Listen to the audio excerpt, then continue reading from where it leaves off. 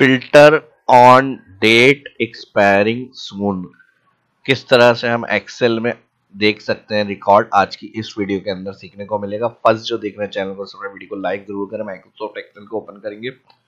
जी हाँ हमारे पास एक्सपायरिंग सून जो कमिंग डेट्स होंगी under ten days five days उस हिसाब से करंट टुडे जो रिकॉर्ड होगा, उसका डाटा हम अलग फ़िल्टर कर सकते हैं। ये आज की इस वीडियो में सीखने को मिलेगा। ठीक है जी तो इसके लिए ऑफ़िस 365 फ़िल्टर फ़ंक्शन यूज़ किया हुआ है। और इसके लिए हम किस तरह से इसको यूज़ करेंगे, अब मैं आपको टेक्निक बता रहा हूँ। सेम हेडिंग कॉपी करी मैंने और यहाँ पर पेस्ट कर ली। और इसके साथ ही आपका फ़र्स्ट सेल जो होगा, इस पर आप फॉर्मूला यूज़ करेंगे। इक्वल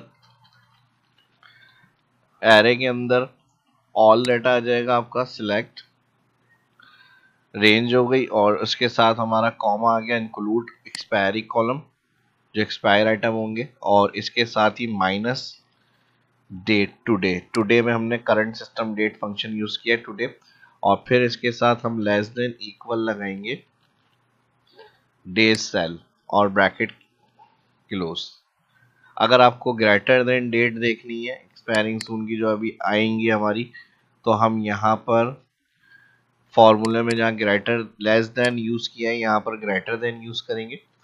तो जो ऊपर अभी डेट है, वो हमारी 2025 की, आगे मंथ की, वो सारी हमारी रिकॉर्ड्स में आ जाएँगी।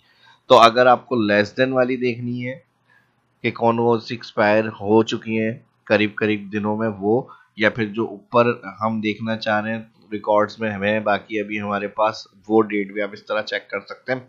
इसके अलावा टुडे में मैंने बताया इक्वल टुडे फ़ंक्शन यूज़ हुआ है, ब्रैकेट क्लोज ओपन क्लोज तो करंट सिस्टम डेट इस सेल में ऐड हुई हुई है। बाकी जनरेट या मैन्युफैक्चरिंग डेट है, कोई भी एक्सपायर रिकॉर्ड जो आप मेंटेन कर रहे हैं, उसकी जो डेट होगी क्रिएट डेट या मैक डेट या फिर generate date manufacture date replace date replace तो वो आप यहाँ लिखेंगे। और फिर उसकी जो मन ड्यूरेशन है कि भाई इतने टाइम का एक्सपायर है, या इतने टाइम की पेमेंट पीरियड है, या फिर कोई इनवाइस रिकॉर्ड वगैरह आपके मेंटेन आप कर रहे हैं तो वो मंथ आप इधर लिख लेंगे। ठीक है जी तो यहाँ पे कहीं चौबीस है, कहीं बारह है, दो साल, कहीं बारह। तो आफ्टर टू इयर्स के बाद जो एक्सपायर होंगी, वो डेट हम यहाँ पर शो करने के लिए equal E date generate date comma हमने मंथ ऐड किया है। स्टार्ट डेट में जो जनरेट डेट होगी वो और कॉमा के बाद ई डेट यहाँ पर जो मंथ होगा वो ऐड करेंगे। ठीक है ई डेट फ़ंक्शन जो होता है, यहाँ पर अगर हम इसको डिस्क्राइब करें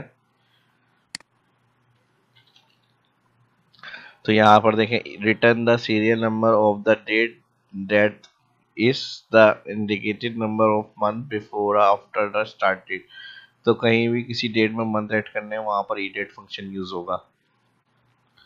होपफुली वीडियो पसंद आई होगी लाइक करें, मिलते हैं नेक्स्ट वीडियो